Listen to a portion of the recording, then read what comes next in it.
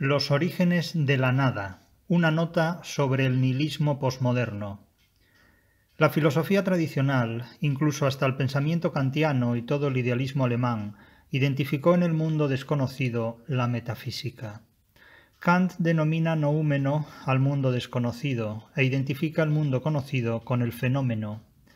Con la irrupción de la retórica nietzscheana, freudiana y heideggeriana, y en particular en todo el discurso posmoderno, la metafísica tradicional sufre una eversión, una vuelta del revés, de modo que comienza a hablarse de una forma desposeída de materia, es decir, de una forma incorpórea, algo, como digo, inconcebible desde los planteamientos de la crítica de la razón literaria ante lo que la literatura es.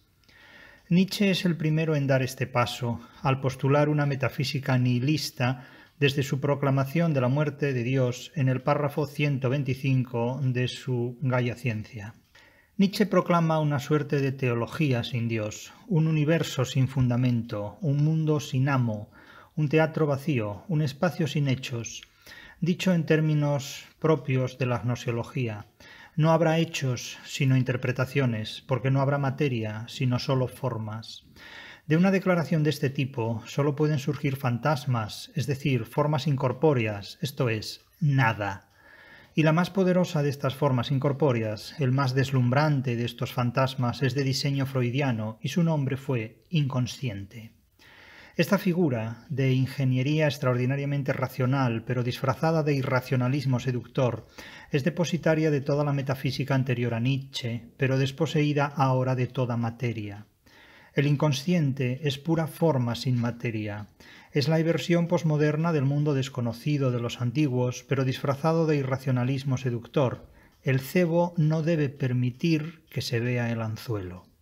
Es decir, es la nada. El inconsciente no es un órgano corporal, como puede serlo el hígado, el pulmón o la uretra, pero fue un objeto de conocimiento de la medicina en una de sus etapas históricas más recientes y más novelescas o fabulosas hasta que la medicina descubre el trampantojo y se lo devuelve a la filosofía como un desecho ajeno a la ciencia. Freud fue sin duda el mejor novelista del siglo XX. A Freud los médicos lo leen como se lee a un narrador de historias fabulosas y los filósofos lo leen como quien lee a un científico. Algo así como leer el origen de las especies de Darwin como una novela y el Génesis bíblico como el origen biológico e histórico de la especie humana.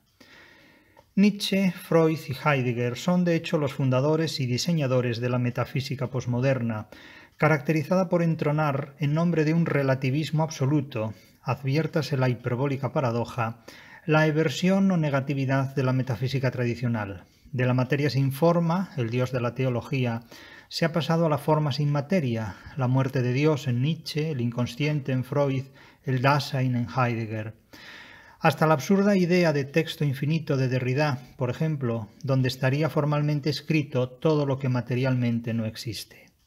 ¿Cuántas ficciones nos regala la filosofía?